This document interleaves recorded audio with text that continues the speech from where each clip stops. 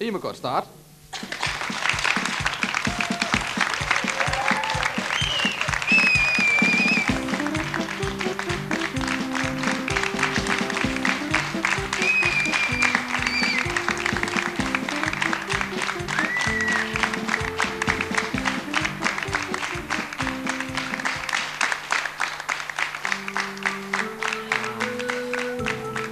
Ja, ja, ja, ja. Så rykker det allerede, og vi siger tusind tak til det veloplagte publikum, som er kommet netop her i aften for at se Don og Tinghus tumultagtige liveshow.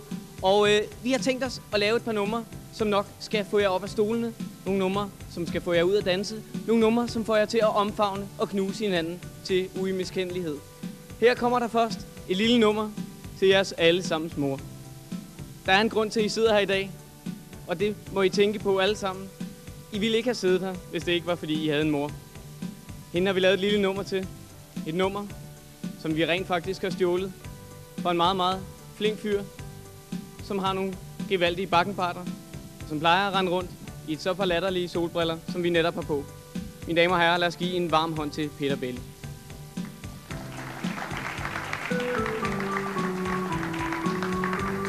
Her kommer en sang, Roser til mamma.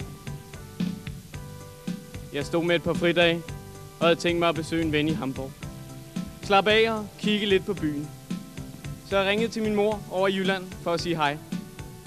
Kommer du her forbi, min dreng, spurgte hun. Og jeg svarede, jeg har dårlig tid nu, mor, men vi ses om et par uger. Da jeg senere kørte igennem en lille by, slog det pludselig ned i mig. Det er jo mors fødselsdag i dag. Jeg må hellere lige sende hende nogle blomster. Så jeg stansede ved en blomsterbutik, og det første jeg så, var en lille dreng med tårer i øjnene. Hvad er der dog i vejen, min dreng, spurgte ham.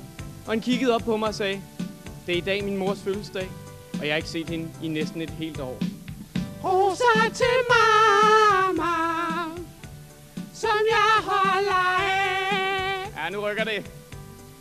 Rosa til mamma, med tak for hver dag. Ja, ja, ja, ja. Rolig. Drengen fortsatte. Jeg bor hos mormor nu, men jeg har lovet min mor fem roser, for så mange år er jeg. Og damen siger, at det kan jeg ikke få for to kroner. Den lille fyrs historie havde virkelig vækket noget i mig. Så jeg sagde til damen, giv den lille dreng alt, hvad han vil have på min regning. Og så bestilte jeg selv en stor buket roser til min mor over i Jylland. Drengen var allerede væk, men pludselig fløj døren op, og han kom svedende tilbage, stak mig sin lille fedtede barnenæve og sagde, jeg glemte helt at sige tak, herre mand. Og så løb han ud igen. Er I klar? Rosa til mamma, som jeg holder af. Ja, der er allerede nogen, der er begyndt at vinke med. I må godt vinke med. Rosa til mamma, med tak for hver dag. Da jeg senere kørte igennem en lille by, så jeg den lille dreng igen. Han knælede ved en grav på en gammel kirkegård. Jeg stansede bilen, gik hen til ham, og han kiggede op på mig og sagde, Det er her, min mor bor. Hun siger så mange tak for blomster. Så er jeg nødt til at vende mig bort og gå.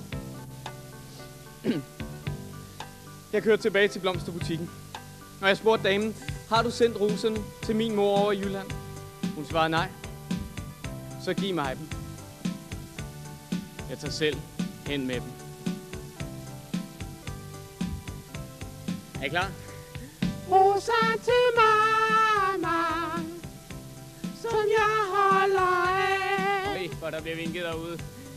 Rosa til mamma, Ja, I må godt knive en enkelt tår derude. tak for hver Det er helt i orden. dag. Kom ud med det hele nu. Rosa til mamma, som jeg holder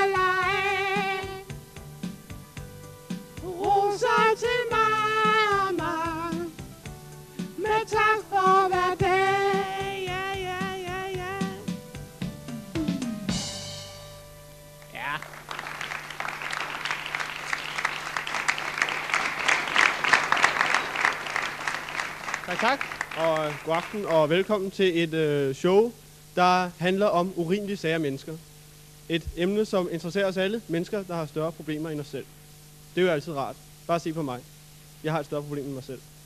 Øh, det er sådan, at øh, den første person, som vi skal møde, det er en person, som øh, har en lidt sær vane hjemme, i sin, øh, hjemme på sit værelse. Han er ikke flyttet hjemmefra endnu. Han er omkring øh, 42. Og øh, han har en, øh, en, øh, en lille vane, som han, øh, en lille passion, som han dyrker i det skjulte.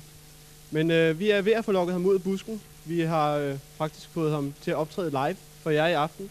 Så øh, I skal tage meget godt imod Knud. Kom ud, Knud.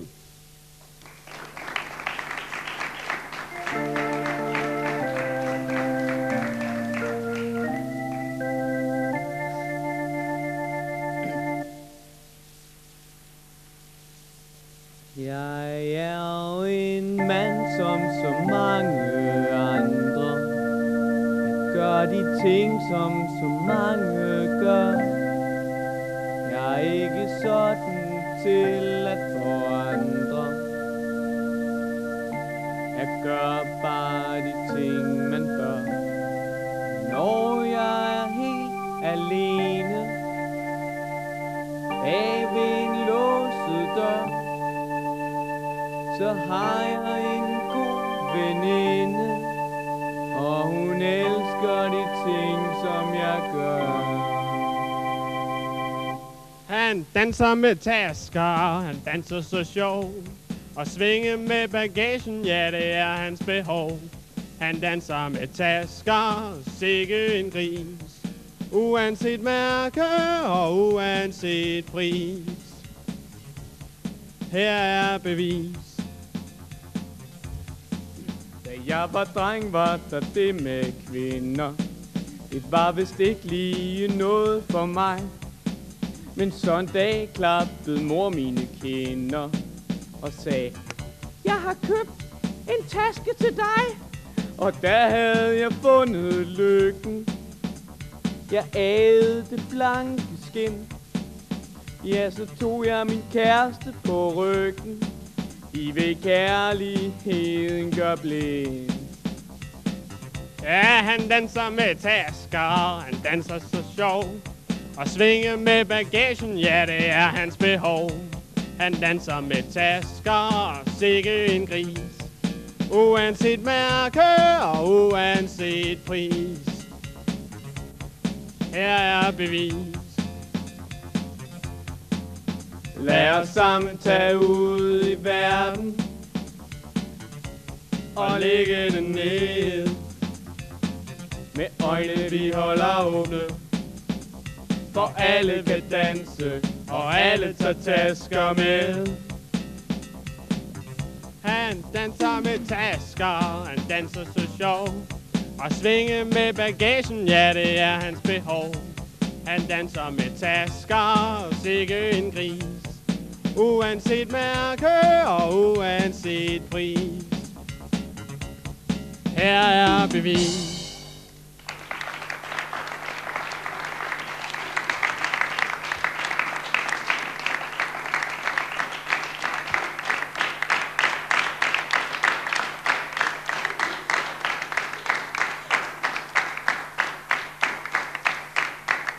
Næste nummer handler om en øh, gut, som ikke øh, er lige så vild for at holde sig i baggrunden som Knud. Ham her, han er lidt mere øh, ivrig efter at få møvet sig frem og få vist alle sin øh, lidt særpræget seksualitet. Denne mand er ikke øh, bare det, man kalder egoist. Han er heller ikke øh, bare selvglad. Han er faktisk, ja, lad os sige det lige ud, han tænder på sig selv. Øh, og på den måde er han jo altid sikker på, at han ligesom på noget på krogen, når han går i byen. Øh, hvis han gik i byen, det gør han sådan set ikke, fordi han sidder mest derhjemme bag sine gardiner og hygger sig med sig selv. Og øh, han har lavet en lille sang om sin, øh, sit særpræget væsen og sin lidt underlige situation. Og øh, vi skal nu se ham i aktion. Mine damer og herrer, Vince.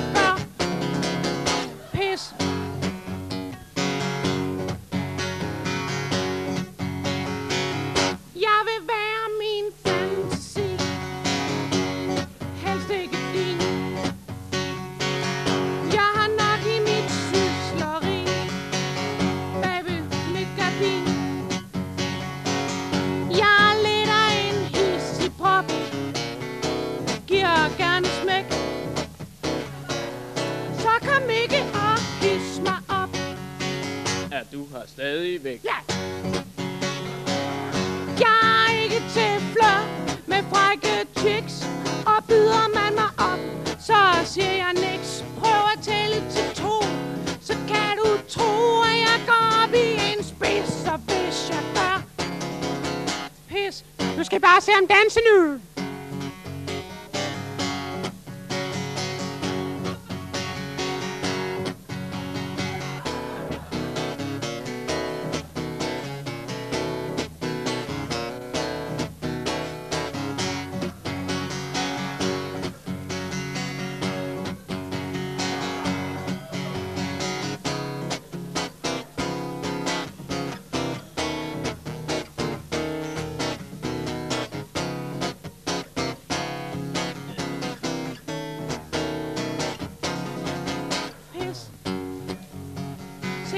dengang jeg var rigtig lille, var jeg utrolig glad for mig selv.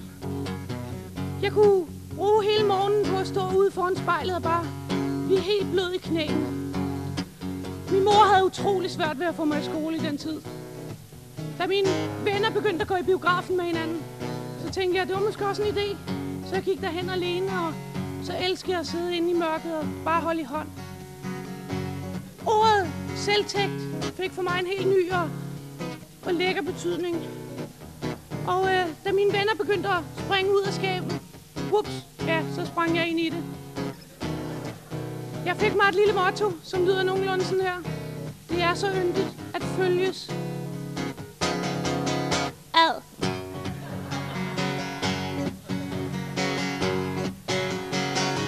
Jeg er ikke til flør med frække chicks Og byder mig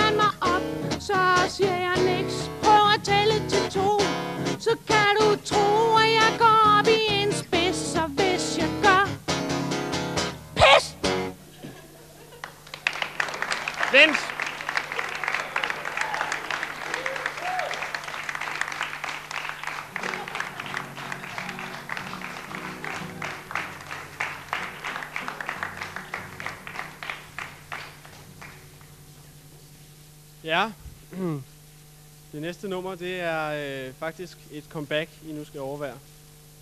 Vi øh, synes, det er så synd for øh, Krumme, at han ikke får lov at være Krumme mere.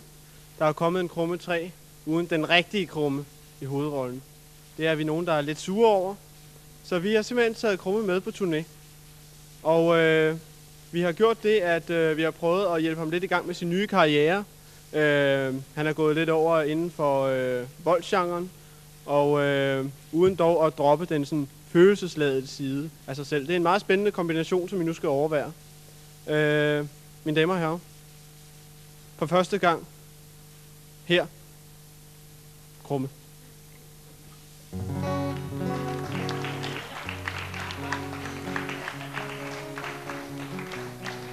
Hold op, I er dejlige. Nogle af jer. Jeg vil godt synge sådan en lille sang for jer. Inden min stemme går helt i overgang. Kommer her. Se godt efter. Jeg har mødt en dejlig pige. Hun har hår, der gør så sjov. Hun har øjne, der kan sige ting, som andre synes er flot. Og så kilder det i maven, eller også gør det ondt. Jeg tror ikke, det kan passe, at kærlighed er sund. Hun kan være mild og venlig, og så smiler hun til mig. Eller blinker lige så hemmeligt, så jeg tror hun elsker mig. Og så kilder det i maven, eller også gør det ondt. Jeg tror ikke, det kan passe, at kærlighed er sund. Rykker det.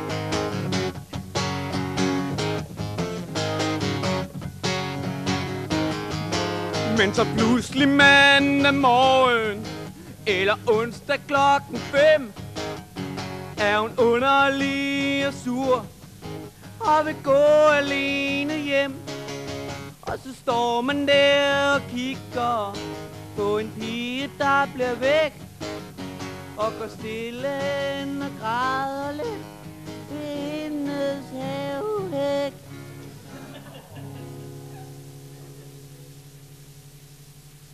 Næste morgen er hun venlig, næsten lige som min far. Der er dog en mægtig forskel, han har noget hun ikke har.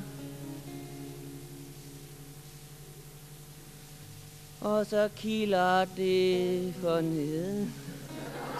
Som tider gør det ondt.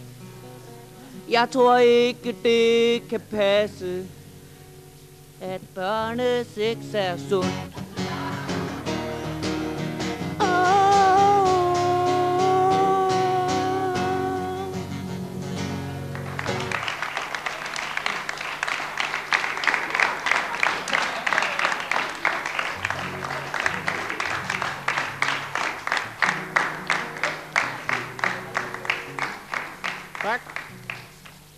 Ja, det forklarer, hvor den lugt kom fra.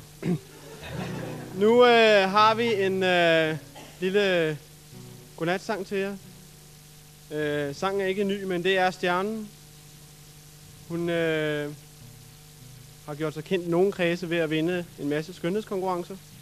Øh, mest på grund af, at øh, hun har en meget flad og behåret barm, hvilket jo ikke er specielt typisk for særlig mange kvinder. Øh, og øh, hendes kjole har også gjort, at hun har vundet afskillige øh, modekonkurrencer derhjemme. Og øh, hun er kommet her i aften, fordi at hun er, også gerne vil prøve at synge lidt. Øh, måske kunne hun vinde en talentkonkurrence en dag. Hvem ved? Måske vinder hun i dag. Tinka Tingmus. Mus.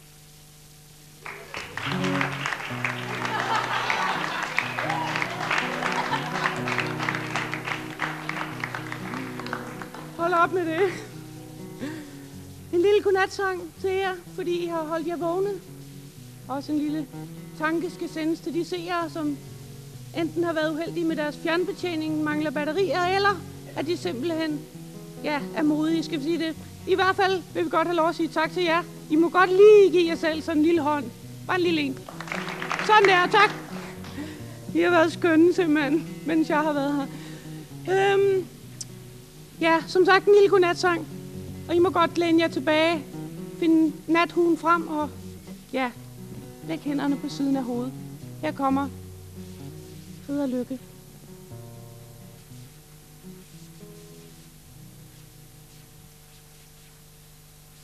Sent, sent om natten, alene for mig selv. Drømmen om dig kan ikke slås ihjel. Står du bag ved døren, der aldrig åbnes helt. Venter du, venter du, du er så svær at se. Rider lykke, rider hvid, rider du alene i en helt anden tid. Aha, aha, rider lykke, rider vid, rider du alene. Og rider lykke, så må med. Vejene jeg følger, ender altid blindt. Men stjernerne siger jeg når dig til sidst. Står du bag ved døren, der aldrig åbnes helt. Venter du, venter du, du er så svær at se. Kom så, rider lykke, rider du, rider du alene i en helt anden tid. Aha, uh, Ridder lykke, rider hvid, rider du alene. Og rider lykke en gang til, Rider, lykke, ridder hvid, ridder du alene i en helt anden tid. Aha, oh, ridder lykke, rider, rider du alene. Og rider, lykke, hvor du end er. Så tag mig med nu. Tusind tak, hvor var I skønne. Tak til Don. Tak til Tinka.